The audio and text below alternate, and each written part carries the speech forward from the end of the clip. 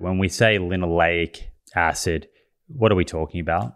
We're talking about a uh, fatty acid, 18 carbons, uh, two double bonds. It's uh, in the omega 6 family. It's the principal uh, omega 6 fatty acid in our diet. It's an essential fatty acid. Uh, that is to say, if you do not eat any of it, you will die um, because you will d- develop um, deficiency symptoms because it is a essential, like a vitamin, vitamin A, vitamin B, vitamin C. Uh, linoleic acid is essential omega 6 fatty acid.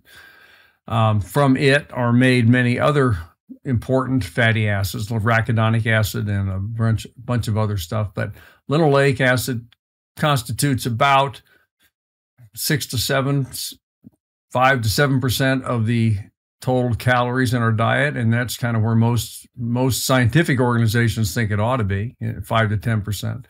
But uh, that's what it is. It's found primarily in seed oils, corn oil.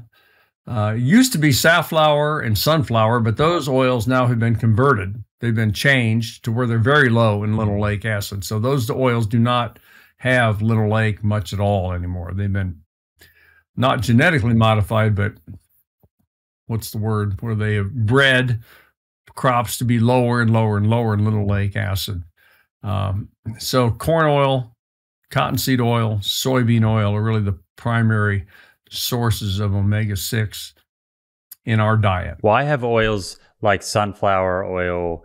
Why have has that selective breeding taken place to to increase the monounsaturated fats? Pretty much because of shelf life issues. Um, the the linoleic acid in if you leave it out in the air, if you leave s- corn oil or sunflower or safflower, excuse me, uh, cottonseed or saff or soy oil, those three oils, if you leave them out very long, the omega 6 fatty acids will react with oxygen in the air and will produce kind of off flavors. And they're more, it's more stable. If you want to be frying French fries, chicken, whatever, um, you want to use an oil that's not going to be oxidized as easily um, so that's so for those purposes, I think that's what those oils have been uh, genetically or, or, been modified to be less than less LA. They're called high oleic oils. High oleic. Oleic is eighteen one omega 9. Um, so in any event, uh, that linoleic acid to your to your question, that's it's the essential omega 6 fatty acid. And so currently in the typical American diet, about six to seven percent of calories are coming from this omega six linoleic acid, fatty acid, which is rough, roughly about you know 150, 160 calories, depending on on someone's total calorie intake, and that's around 15 to 18 grams of linoleic acid a day, just to give someone an understanding of what that looks like in terms of of food, how many tablespoons of seed oil are we talking about here? So if you take soybean oil, which is about 50% by weight, linoleic acid, uh, if you're eating 15 grams a day of linoleic acid, that's like eating two tablespoons, 30 milliliters, 30 grams of soybean oil. And how much is required to meet the the body's essential needs. That's even controversial at this point. Required, uh, required to prevent you from uh, having serious deficiency symptoms. Probably one or two percent of energy is essential. Uh, it covers, as far as we know, the essential needs. But this is one of those fatty acids, kind of like EPA and DHA in a way, where yeah, you can meet you can meet your needs to to live, to reproduce, to grow old and die. You can you can you can survive on a very low linoleic acid diet, but are you um, is is your health optimal? That's the question. Um, and I think what we've seen is higher linoleic acid levels are associated with with better long term health outcomes, uh, even though you're beyond what's essentially what the, the need is essentially. Same way with little with EPA and DHA you can survive with virtually no EPA and DHA in your diet, uh, but you don't live as well and as long.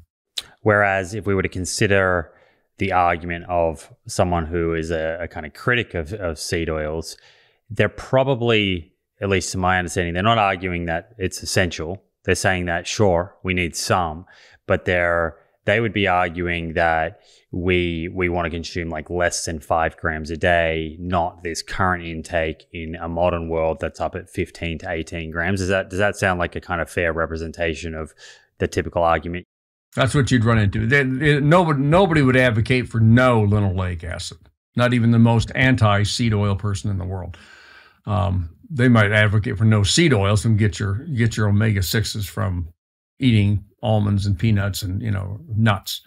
Uh, but you're right. Uh, no one would say eliminate linoleic acid from the diet. That would be crazy.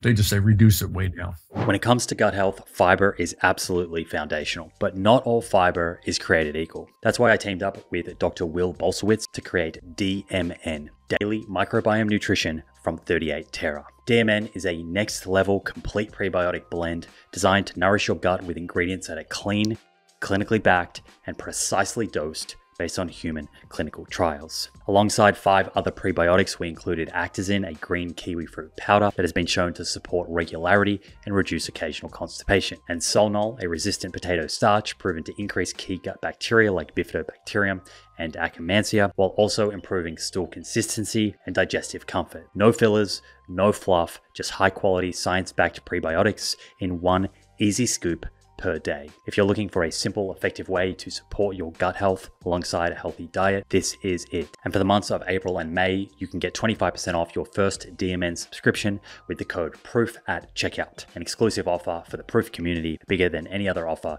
you will see out there. Head to 38terra.com. That's 38terra.com and use the code PROOF. Glorious poops and a happy gut are just around the corner.